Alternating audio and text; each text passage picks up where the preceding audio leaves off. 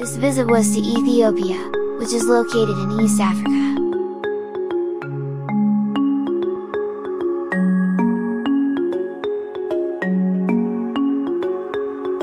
Politically, Ethiopia is a federal democratic republic.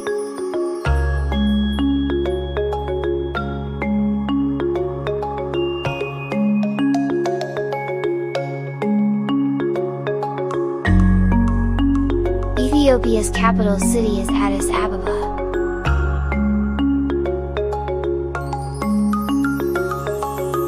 Ethiopia's population is over 117 million people, and their official languages are Afar, Oromo, Somali, Amharic, and Tigray.